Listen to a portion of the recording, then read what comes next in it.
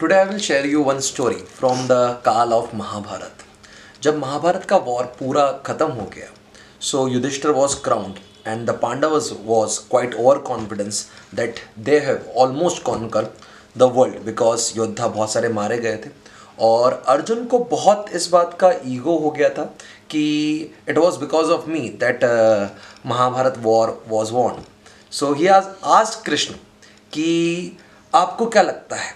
दोनों पक्षों की तरफ़ से सबसे अच्छा योद्धा, सबसे अच्छा धनुर्धर, सबसे बेस्ट परफॉर्मर कौन था?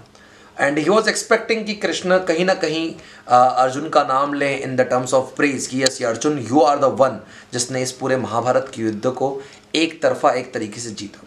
सो कृष्णा, आज Arjuna let us go for a ride again I will again be your sarathi.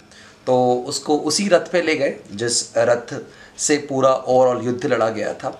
और approx twenty kilometres away from the Kurukshetra Krishna ने ध्वज की, रथ की, ध्वजा की तरफ़ देखते हुए प्रॉपर तरीके से ऐसे हाथ जोड़ के वहाँ पे हनुमान जी का जो ध्वजा थी, उनको प्रणाम किया। And ask Hanuman to get off from the rath. And Arjun was surprised and amazed कि क्या मेरे रथ पे ये ध्वजा रूप में क्या खुद हनुमान जी खुद बजरंग बली बैठे हुए थे? सो हनुमान जी प्रकट हुए और हनुमान जी को बोला कि आप इस रथ से हट जाए। तो जैसे ही हनुमान जी रथ से हटे कृष्ण आस्क अर्जुना कि तुम भी थोड़ा दूर चले जाओ।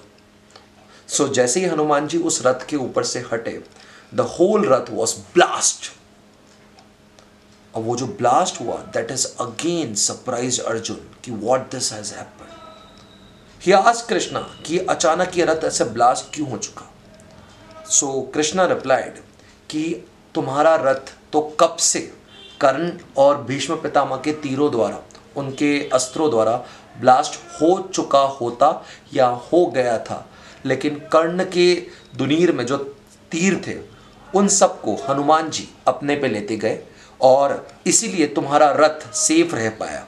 तुम्हारे रथ के ऊपर मैं विद्यमान था मैंने बहुत सारे तीर अपने ऊपर लिए। हनुमान जी ने अपना एक सुरक्षा कवच बना के रखा था पूरे रथ पे, जिससे तुम इस युद्ध में बच पाए, वरना युद्ध के चौथे या पाँचवें दिन ही ये रथ पूरा तुम्हारे साथ, अर्जुन, ब्लास्ट हो चुका था। So what is the lesson और मोरल ऑफ़ द स्टोरी हमें लगता है कि बहुत सारे काम हम खुद कर रहे हैं। हमारे करने से काम होता है। हमारे सोचने से सोच बदलती है। हमारे एफर्ट लगाने से और हम हम करेंगे तभी कोई चीज़ होगी। यस yes, हम करेंगे तो बहुत सारी चीज़ें होती हैं। But to be very frank दोस्तों हमारे करने के साथ एक उस ऑलमाइटी का साथ उस बजरंग बली का साथ उस कृष्ण का साथ भी होना चाहिए जिसको कभी हम वक्त बोलते हैं। कभी कभी आप बहुत सारे एफर्ट्स लगाते हैं और आपका कहीं पे सिलेक्शन नहीं होता। या जो चीज़ आप चाहते रहते हैं वो नहीं होती। और कभी कभी बहुत लेस एफर्ट से आपको वो चीज़ें मिल जाती हैं। सो so, इस बात को कहीं ना कहीं एक्सेप्ट तो करना पड़ेगा कि despite of all our efforts there is some almighty there is some divine power which is helping us throughout so we can not take the credit right on our self कि जो हम करते हैं वो हमको सिर्फ़ हमारे ही कर्मों का या हमारी ही डीड्स हम अचीव अचीवमेंट पाते हैं।